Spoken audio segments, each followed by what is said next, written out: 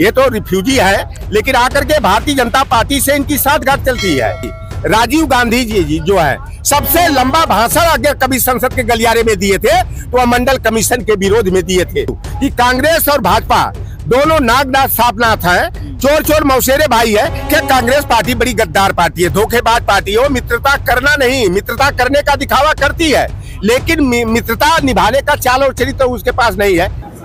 नमस्कार दोस्तों, मैं सुमित यादव, आप देख रहे हैं दा सुनामी। हम लोग मध्य प्रदेश के चुनाव की कवरेज आपको लगातार करके दिखा रहे हैं। इस समय हम लोग कटनी की बहौरी बंद विधानसभा में मौजूद हैं। अखिलेश जी आज यहाँ आए, जनसभा करके गए हैं। उनके जाने के बाद क्या माहौल है? सत्तर से ज़्यादा प्रत्याशी चुनावी मैदान में इस बार समाजवादी पार्टी ने उतारे हैं। क्या माहौल समाजवादी पार्टी का है? समाजवादी पार्टी अपनी किस्मत आजमा रही है। हालाँकि इससे पहले भी कई बार विधायक मध्य प्रदेश से समाजवादी पार्टी के रहे। इस बार क्या प्रभाव सपा का रहेगा क्या प्रभाव साइकिल का रहेगा कितनी साइकिल भोपाल पहुंचेंगी उसको हम लोग समझने की कोशिश कर रहे हैं। बहरी बंद में क्या माहौल है वो भी आप लोगों को बताएँगे। हमारे साथ बातचीत करने के लिए लोटराम निषाद जी मौजूद हैं आप लोग भली भांति परिचित हैं। बहुत बहुत स्वागत है लोटिन चैनल पर। धन्यवाद दी सुनामी चैनल को। पहले तो यही शुरू करते हैं बहरी बंद से ही। क्या माहौल यहाँ पे आपको समझ में आ रहा है दो तीन दिन से टहल रहे हैं?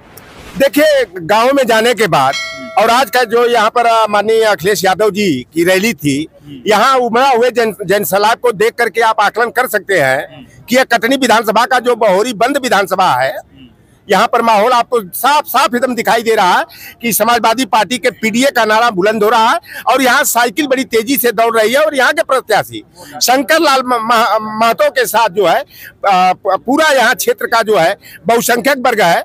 और बता दूँ यहाँ का जो जातिगत समीकरण है, यहाँ पर संतानवे प्रतिशत ओबीसी एस सी एस और माइनॉरिटी के, की जनसंख्या है। कह लीजिए पीडीए की आबादी है और तीन परसेंट जो है कि राजपूत और ब्राह्मण बिरादरी की आ, के मतदाता है।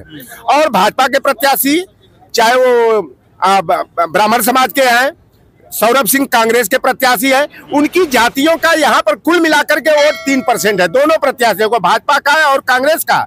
संतानवे प्रतिशत वोट जो है इस बार समाजवादी पार्टी के पीडीए के आ, साथ एक चलेगा। सवाल, एक सवाल ये है कि ये बात आप बता रहे हैं जो जातिगत जो आ, वो इक्वेशन है वो तो संतो शंकर महतो के साथ दिख रही है, समाजवादी पार्टी के साथ दिख रही है।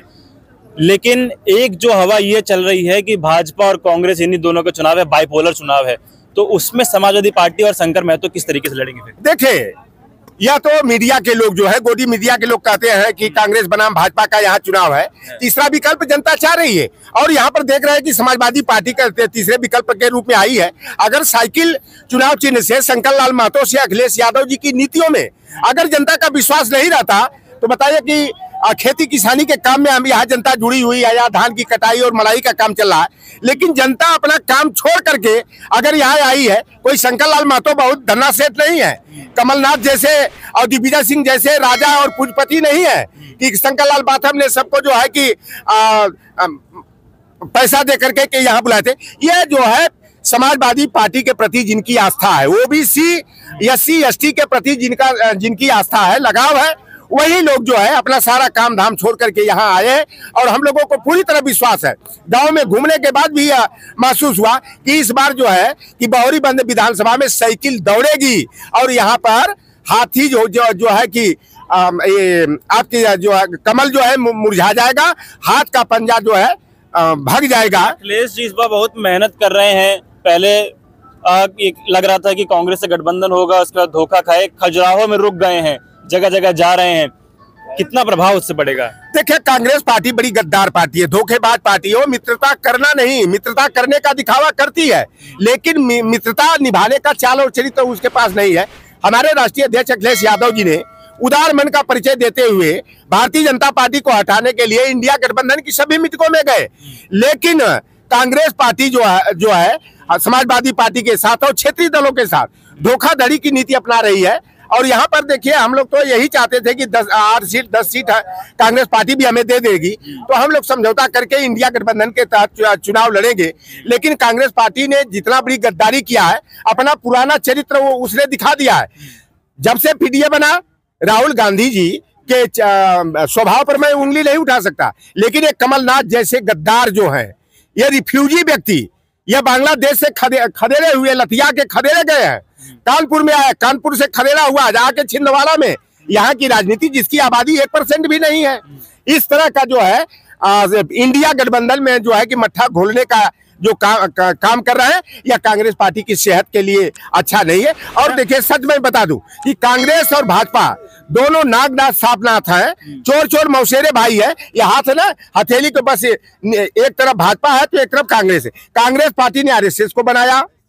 फिर आरएसएस जो है कि जनसंघ को और आज की भारतीय जनता पार्टी को बनाया। तो दोनों कांग्रेस पार्टी हो चाहे भारतीय जनता पार्टी हो ये आरएसएस के रिमोट कंट्रोल से चलते हैं। और यह जो मध्य प्रदेश का जो चुनाव हो रहा है राजस्थान और छत्तीसगढ़ का हो रहा है कांग्रेस ने अपने आरएसएस के चरित्र को जो है कि पूरी तरह से उजागर कर दिया है लेकिन यहाँ का जो ओबीसी एस सी तबका है वह सामाजिक न्याय के लिए।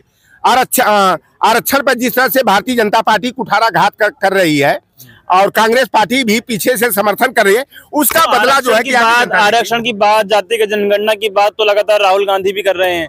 वो देख गए ना ये हवा का रुख देख करके आरएसएस वाले बड़ा धूर्त होते हैं कनिंग हम्म। पर्सन होते हैं ये हवा का रुख देख लेते हैं कि ओबीसी को जो है कैसे अपने तरफ़ मिलाना है शिकारी है ना तो जैसे हम तो निषाद बिरादरी के हैं तो बड़ी बड़ी मछलियों का शिकार करने के लिए जो है ना हम लोग बंसी में चलवा और सीधरी गोद करके दस किलो बीस किलो का रोहू है भाकुर है हिलसा है बड़े बड़े मछलियों का शिकार हमारे सोंधिया समाज के लोग बर्मन समाज के धीमर समाज मल्लाह केवट समाज के लोग कर लेते हैं। ये भारतीय जनता पार्टी और कांग्रेस वाले उसी शिकारी की तरह है, जो ओबीसी एस को झूठा लालीपाप दिखा करके जो है, वोट हथियाने का ये काम करते हैं। और मैं बता दूँ कि राजीव गांधी जी, जो है, सबसे लंबा भाषण अगर कभी संसद के गलियारे में दिए थे तो मंडल कमीशन के विरोध में दिए थे।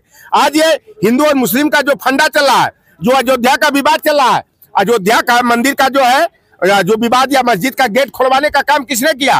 कांग्रेस पार्टी ने किया। दो दो बार उसका गेट खोलवाया और सारा जो दंगा फसाद की जड़ है वह कांग्रेस पार्टी है। और राहुल गांधी जी के अगर इशारे पर कमलनाथ बड़बोलेपन का परिचय दे रहे हैं चाहे अजय राय दे रहे हैं इस तरह के जो दो, दो, दोयम दर्जे वाले नेता जो कांग्रेस पार्टी के हैं अगर इस तरह का बयानबाजी कर रहे हैं अगर तो यह साफ़ कर देना चाहिए रा, राहुल गांधी जी को प्रियंका गांधी गांधी जी को मल्लिकार्जुन खड़गे जी को कि क्या उनको मौन सहमति है क्या? कि वह सम, कभी समाजवादी पार्टी के ऊपर अखिलेश यादव जी के ऊपर टिप्पणी करें? मेरा आखिरी सवाल आपसे है कि आप लगातार कांग्रेस पार्टी को मध्य प्रदेश चुनाव में टारगेट कर रहे हैं कांग्रेस पार्टी पे हमला बोल रहे हैं। अभी तीन चार दिन पहले नीतीश कुमार ने भी फटकार लगाई कांग्रेस पार्टी को। तो जो इंडिया गठबंधन बन रहा था, तीन बड़ी बड़ी मीटिंगें हुई, और तो उसका फिर क्या है अब? क्या तैयारी इंडिया गठबंधन की है, और किस तरीके से आप फिर एक साथ आएँगे जब आपस में लड़ते रहेंगे? देखिए, लोकतंत्र और संविधान पर जिस तरह से आरएसएस की सारे पर भारतीय जनता पार्टी खतरा पैदा कर रही है, और परोक्ष रूप से बाबा साहेब भीमराव अंबेडकर का संविधान खत्म हो चुका है। हम्म। मनुस्मृति का विधान भारतीय जनता पार्टी लागू लागू कर दी है। और गुरु गोलवलकर की bunch of thoughts we are our nationhood defined की। जो पिछड़ा दलित आदिवासी अल्पसंख्यक वर्ग के विरोध में नीतियाँ हैं उसको भारतीय जनता पार्टी पूरी तरह से लागू कर रही है। अगर लोकतंत्र और संविधान को बचाने की मंशा कांग्रेस पार्टी में है तो उन्हें चाहे वो जदयू हो राजद हो चाहे समाज समाजवादी पार्टी हो डीएमके हो इन दलों को जो है विश्वास में लेकर के जो है साथ चलना पड़ेगा। अगर इस तरह का धोखाधड़ी और विश्वासघात करेंगे तो यह कांग्रेस पार्टी के सेहत के लिए भी बेहतर नहीं है। लेकिन कांग्रेस पार्टी ने आ, फिर इसके बाद भी तो आगे छह महीने बाद लोकसभा का चुनाव है बड़ा चुनाव है। राज्यों के चुनाव के चक्कर में आप प्रदेश की गद्दी छोड़ना चाह रहे हैं फिर? देखिए कांग्रेस पार्टी मैं कह दिया ना कि कांग्रेस पार्टी को चुनाव जीतना और भाजपा को हटाना हमको तो लग रहा है कि मध्य प्रदेश में लक्ष्य नहीं। कमलनाथ जानते हैं कौन है? कमलनाथ बहुत बड़ा जो है कि पूंजीपति व्यक्ति है। ये तो रिफ्यूजी है, लेकिन आकर के भारतीय जनता पार्टी से इनकी साठगांठ चलती है। और कहीं ईडी और सीबीआई जैसे ज्योतिरादित्य सिंधिया पर चल गया, और ज्योतिरादित्य सिंधिया जो है, कांग्रेस की विरासत को छोड़कर भारतीय जनता पार्टी में जाकर के गुलामों की तरह ज़िंदगी जी रहे हैं। कमलनाथ जो है यह भारतीय जनता पार्टी के लोगों से मिली भगत कर करके जो है कि चुनाव लड़ रहे हैं उनका उद्देश्य भारतीय जनता पार्टी को सत्ता से बेदखल करना नहीं कांग्रेस की सरकार बनाना नहीं बल्कि अप, सिर्फ़ अपना स्वार्थ साधना है अपना स्वार्थ सिद्ध करना है। एक लाइन में आखिरी सवाल है कि चुनाव के बाद समाजवादी पार्टी किस भूमिका में रहेगी? देखिए यहाँ पर हम लोगों को पूरी तरह विश्वास है और हमारे राष्ट्रीय अध्यक्ष माननीय अखिलेश यादव जी जिस तरह मेहनत कर रहे हैं हम लोग जो है कि मध्य प्रदेश में किंग मेकर की भूमिका में रहेंगे। थोड़ा सा हम लोगों को पश्चाताप हो रहा है कि कांग्रेस पार्टी पर अति विश्वास करके हम लोग जो थोड़ा गुंडाहियत के शिकार हुए। अगर शुरू में, दो महीना पहले भी अगर कांग्रेस का यह चाल चरित्र सामने आ गया होता तो हम लोग जो है यहाँ 40-50 सीटें जीत सकते थे।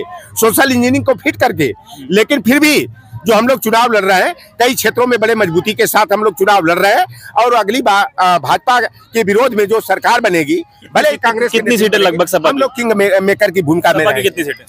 और देखिए हम लोगों को विश्वास की बीस प्लस सीटें जो है कि समाजवादी पार्टी यहाँ जीतने की स्थिति में है और पिछली बार भी जो सरकार बनी थी कांग्रेस की हमारा वो शुक्ला बाद में भगोड़ा हो गए ना ज्योतिरादित्य सिंधिया के साथ भाग गए जो बिजावर से जीते थे उन्हीं के समर्थन से जो है कि कमलनाथ मुख्यमंत्री बने थे। तो ये कमलनाथ जो है ना नागनाथ साफनाथ वाला चरित्र दिखा करके जो है ना ये जो डसने का काम किया है यह कांग्रेस की सेहत के लिए बेहतर नहीं है। तो तस्वीरें हम लोग आपको लगातार मध्य प्रदेश चुनाव से दिखा रहे हैं क्या माहौल है? समाजवादी पार्टी अपनी किस्मत आजमा रही है।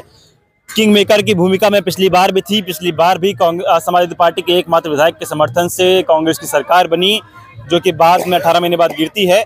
और इस बार एक बार फिर से तस्वीरें वैसी ही नज़र आ रही हैं। इस बार फिर से यही लग रहा है कि एक बार फिर समाजवादी पार्टी किंग मेकर की भूमिका में मध्य प्रदेश में रहेगी।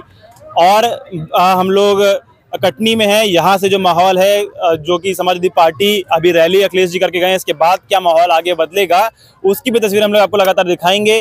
फ़िलहाल आप लोग क्या सोचते हैं अपनी राय कमेंट में दीजिएगा। बाहरी बंद से क्या अगर आप लोग देख रहे हैं तो क्या आपको लग रहा है कौन यहाँ से विधानसभा का चुनाव जीत के जाएगा कौन यहाँ से भोपाल जाएगा। अपनी राय कमेंट वक्त दीजिएगा फ़िलहाल वीडियो में खत्म कर रहा हूँ। आप लोगों से मुलाकात अगली वीडियो में होगी। जुड़े रहे हमारे साथ, तब तक नमस्कार।